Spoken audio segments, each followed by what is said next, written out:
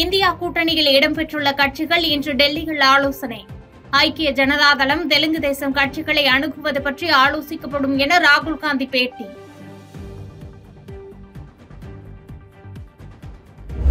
தமிழகம் புதுச்சேரியில் நாற்பது தொகுதிகளிலும் திமுக கூட்டணி வெற்றி. இருபத்தி ஒன்பது தொகுதிகளில் இரண்டாம் இடம் பிடித்தது அதிமுக கூட்டணி. பாதகம் செய்பவரை கண்டால் நாம் பயங்கொள்ளலாகாது பாப்பா. மோதி மிதித்து விடு பாப்பா. அவர் முகத்தில் உமிழ்ந்து விடு பாப்பா.